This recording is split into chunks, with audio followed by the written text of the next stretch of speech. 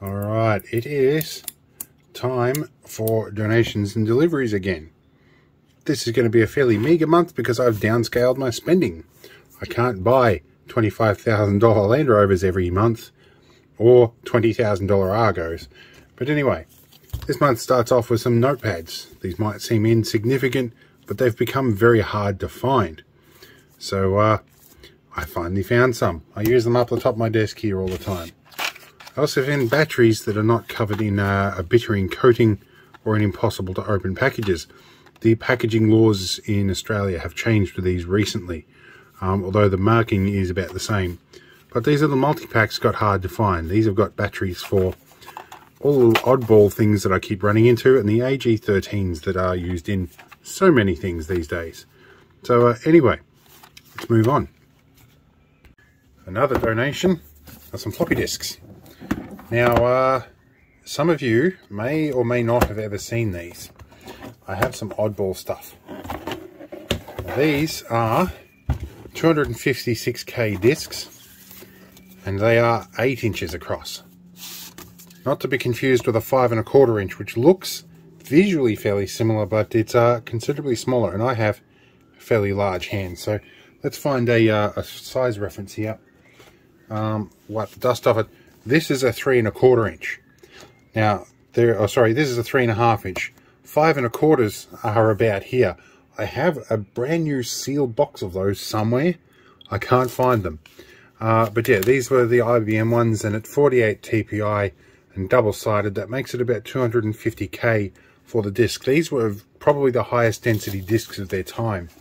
Um, quite useful, but not anymore. We used to have the whole machine that had these. It used to have two drives, and one would be the boot disk and the other was the data disk. Uh, but since uh, everything's been moved and everything like that, I think it was a 40 character wide screen, and I think it was about the standard, um, I think it was about 12 inches high, and it was about 6 inches wide. It was a really weird aspect ratio, really thin green screen CRT. I don't remember what it was for, but we did have the entire machine. It uh, probably would have been worth a mint nowadays, but that was, well, 30 odd years ago. So um, I don't know where it is now. But interesting donation. So uh, we'll see you uh, when something else arrives. Oh, and just for a matter of comparison, while I have my box of floppy disks out, these are CF2 floppy disks. These go with the Amstrad uh, CPC 6128, of which uh, I am working on backing up to uh, three and a half inch but uh, yeah, these are also another oddball format. And in any case, I have a functioning Compaq to fit those, or sorry, the um, Amstrad. I get so many of these things confused these days. But anyway, we'll uh, see you in the next one. All right, we've had some uh, donations here, and uh, let's see what we can start with. This is a uh, PlayStation controller. I have lost track of the whole PlayStation phenomenon since the, the late 90s. Um, oh, it does have an on button. I don't know how I turned this on. This was donated by Waze, and uh, after he uh, heard about the video that probably hasn't gone public yet, where I modified a classic Xbox controller um, to USB, and he's donated this. This has this little extra auxiliary, auxiliary add-on here, which if I'm gentle enough, um, that adds on to the back of it as well. And uh, this apparently works with Bluetooth. So uh, we're going to try and pair this with my apprentice's PC, give us some more controls. I don't know how to turn the thing on and off. I don't even know how to put it in pairing mode yet. Something I'm going to have to learn. Um, I kind of left consoles behind a long time ago. And uh, how is that meant to go on again? Ah, that is flexible. That makes total sense. All right. So I think that all goes in here. Uh, this was briefly demonstrated to me. Um, I think I can double tap it.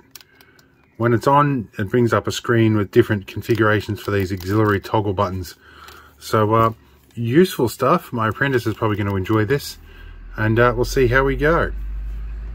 All right, some more deliveries. And uh, it's gearing up to be a sunny day winter is not being very wintry at the moment.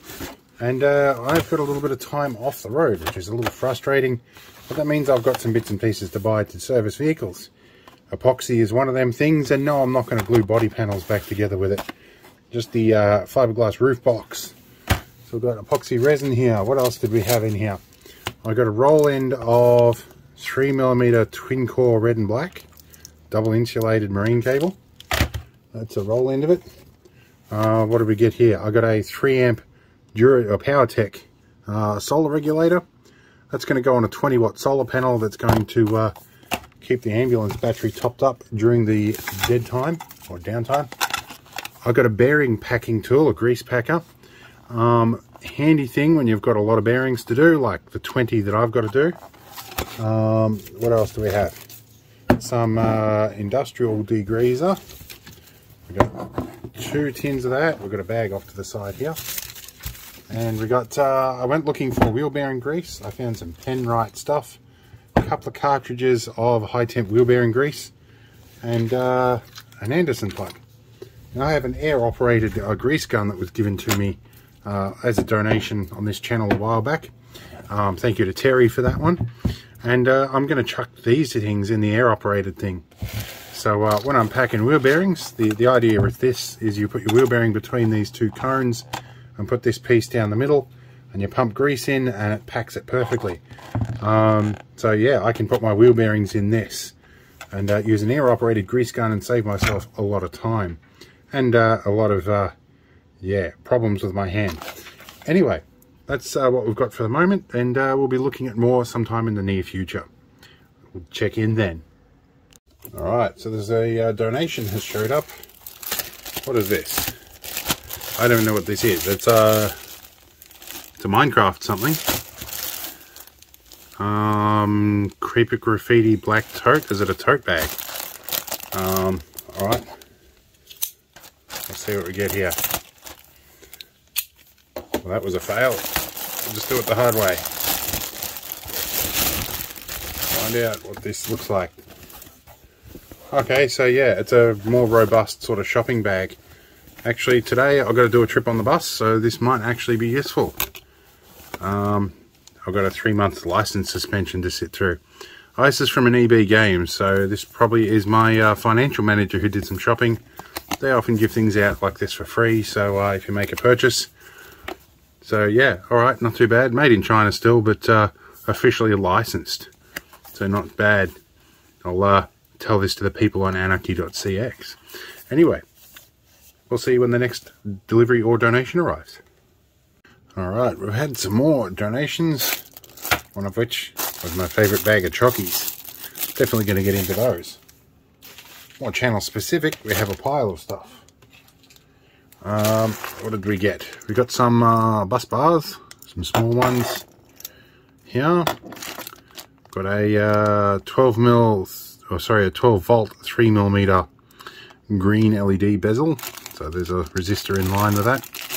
We've got 10 of the, um, what are these? 5.5, 2.1 mil DC barrel jacks, I guess. And uh, some 2 mil 2 core uh, we're going to use that for some camera upgrades. Oh, and one last thing we did find is a uh, blade fuse holder. Fairly decent molded one. It's not loose and wobbly like the others. This feels very robust. So, uh, and what grade wire do we have on it? We have 12 gauge. I guess that's what it is. And there's a reason for all of this. All right, we have a delivery from uh, Scorptec see what this is. Let's move around here a little bit. Uh, let's have a not to uh, cut my hands up. I'm always nervous with these knives because they are wildly sharp and they say a sharp knife is less likely to cut you. That's because it usually requires less force to operate the knife. Here is our delivery here.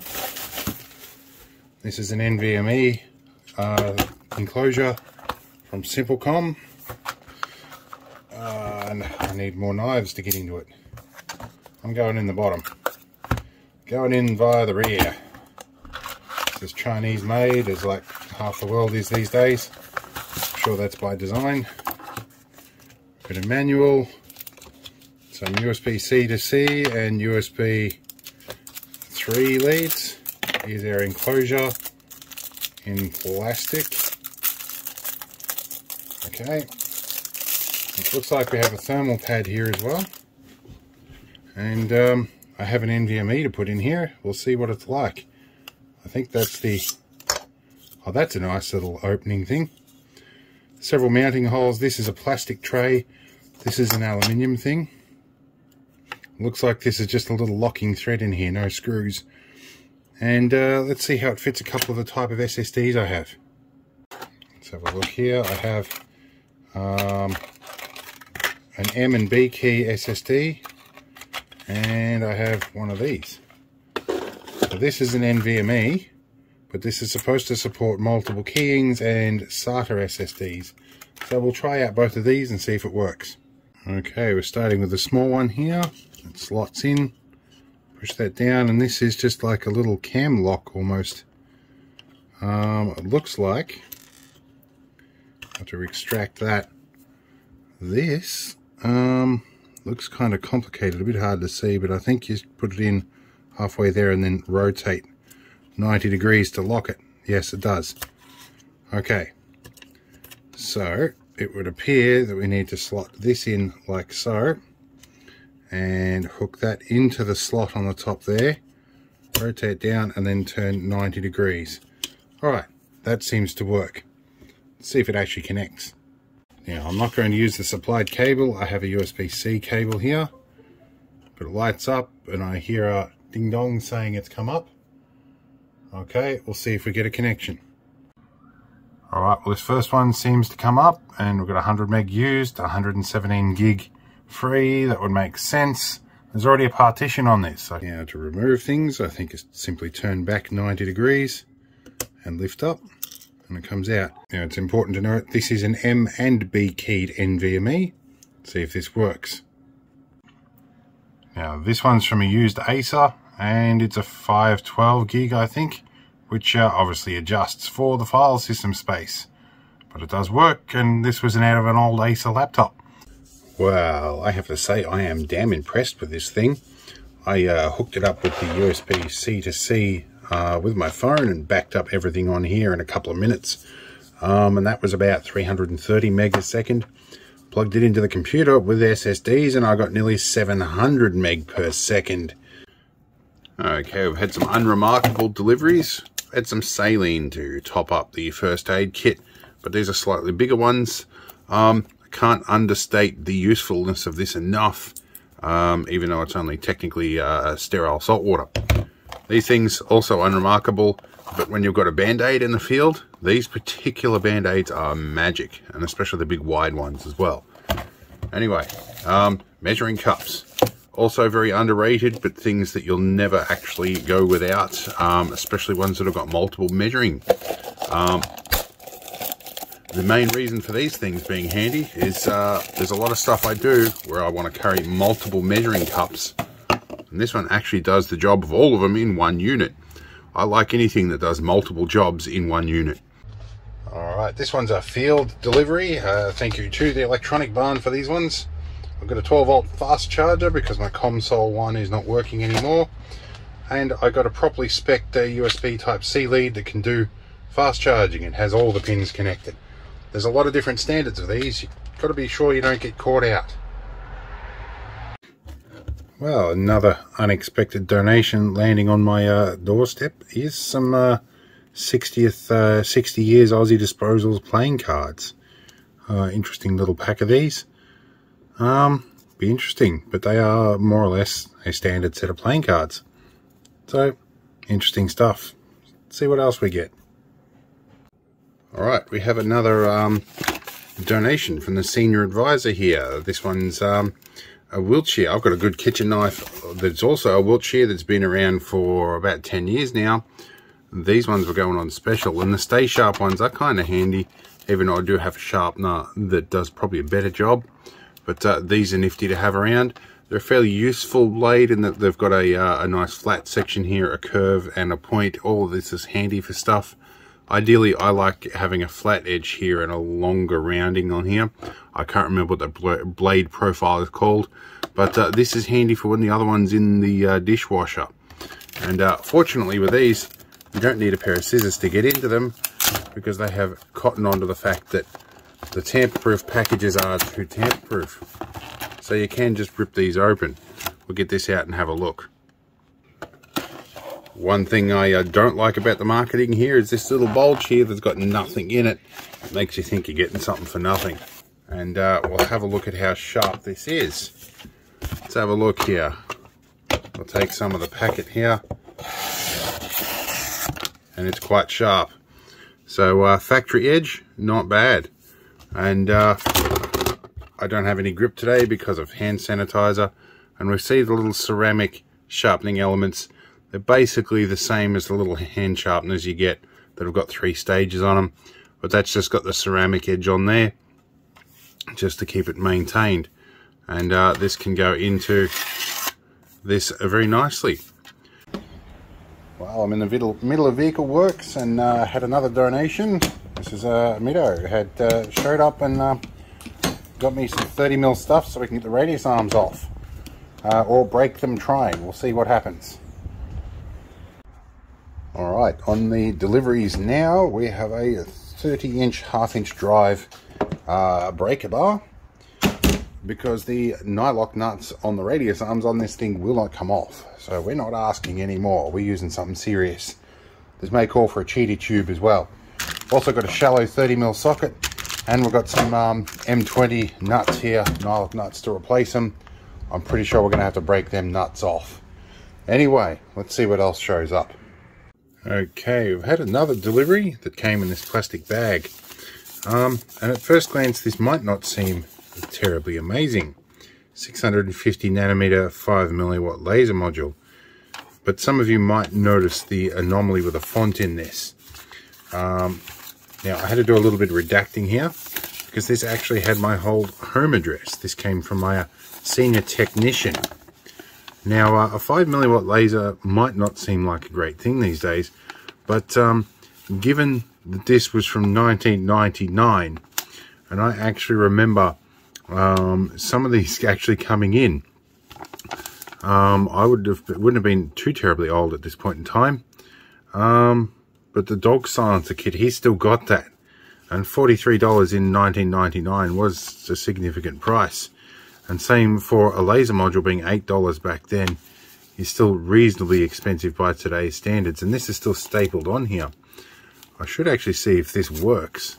Um, this has a significantly better heatsink this is also, also from a time where I had to mail order high intensity LEDs. And by high intensity, I mean like 30 millicandel. And they pulled about 40 and 50 milliamps to run that. So early in the stage of laser diodes and all that sort of stuff. So uh, let's get this out of the bag and see if it works. Uh, but before we do that, we should read the whole little bit here. And it says, uh, warnings about lasers and above a certain require power level require licensing, so lasers above 1 milliwatt. Okay, and semiconductors and power heads and gas tubes and argon tubes and laser light with high voltages. So there's all the, the warning um, sheet that comes with it too. Here we go. We even have a, uh, a diagram here. So it's how to connect the link and how to add a button to it. That's pretty nifty. I think I didn't come with a button. I think I've got a couple of those. But um, for operation at a higher voltage, add a series resistor, so 100 ohm for 9 volts, 150 ohm for 12 volts. I may have that somewhere. So we need 3 to 5 volts. We can probably handle that for my test supply. Alright, this took a little bit of trickery. I did warm the iron up, but I found I can fire it up like this. And it's actually a little bit brighter than the average laser, I think. It does seem to be a little bit better than some of the ones I've used before. But this will certainly be interesting to play with. It's a 5 milliwatt. Still legal in today's day and age, so uh, yeah, this could be interesting. In another bag here, I have some 40% DEET, always useful. And I found a different supplier of the dehydrated meals that had some ones that I can't normally get.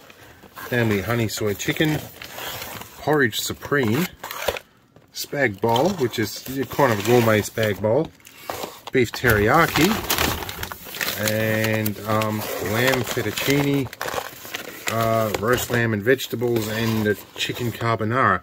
That one was uh, recommended to me by my cameraman. These are good ones. So uh, now the difference, I think, BCF charged me like 12 bucks for these. Aussie Disposals charge um, like 17.99 for them. So these are the ones you a bit harder to get hold of, but they're a bit pricier too.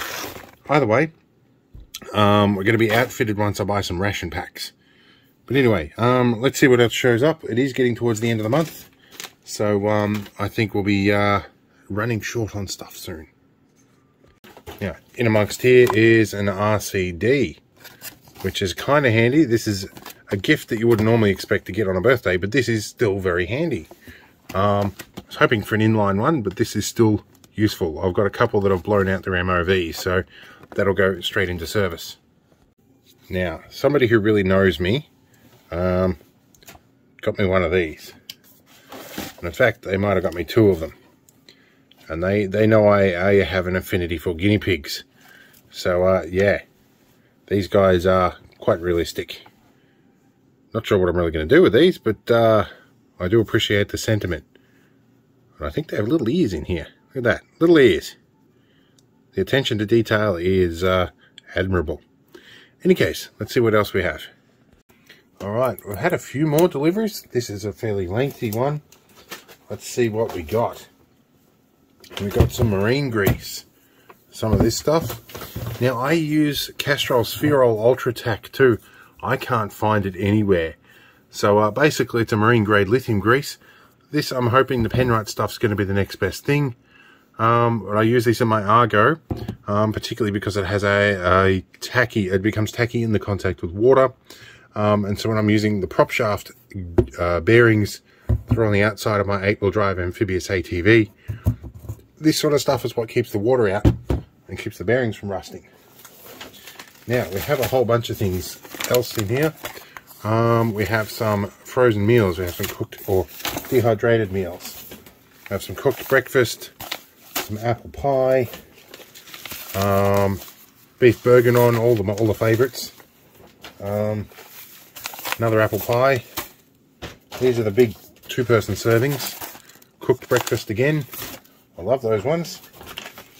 Have got? Another cooked breakfast. Um, another beef bourguignon. Enough to share around. What else did we get? Um, some universal joints because I destroyed one of these um, trying to get a uh, 30 mil nut off a radius arm bush or a radius arm. Um, now, I don't like to be specific about when my birthday happens, but it happened last month, or maybe the month before, you don't know. I've been sitting on stuff for quite a while. So what did we get? One of the things I got was this little uh, portable mobile phone holder. Somebody who had no idea what to buy from me, and that's not surprising, but this is going to be handy, and I'll show you why. Now, I've just swapped to using this. This is what I've been using for ages to hold my phone while I record these sort of videos. This is basically uh, a tripod mount for a DSLR camera with a bunch of blue tack. This thing may serve to be a little bit more adjustable and a little bit more useful for the job. So, useful present.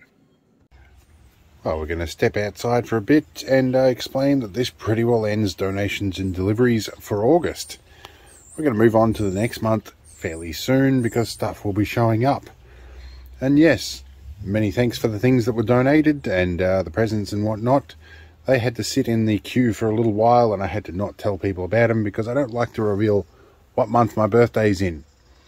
There's obvious reasons I'm sure many of you guys can speculate about. in any case, uh, one thing I am going to have to look for a donation for is something to help clean up the paintwork on the side of this vehicle after I've scratched it with trees. In any case, we'll see you in the next one, and I hope it was mildly entertaining.